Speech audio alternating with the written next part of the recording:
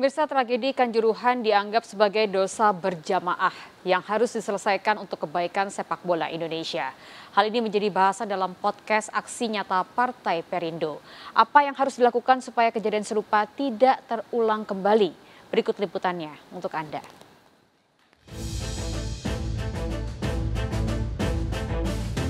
Duka akibat tragedi sepak bola di Stadion Kanjuruhan tidak akan mudah dilupakan.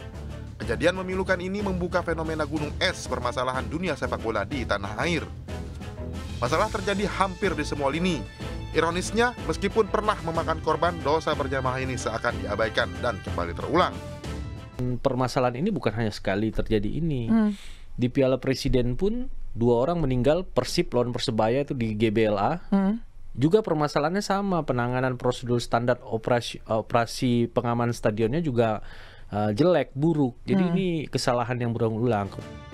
PSSI, klub sepak bola, dan pihak yang terlibat langsung dengan penyelenggaraan pertandingan harus duduk bersama menyelesaikan masalah. Supaya tetesan air mata Aremania dan pencinta sepak bola Indonesia tidak kembali terulang. Tim Liputan iNews melaporkan.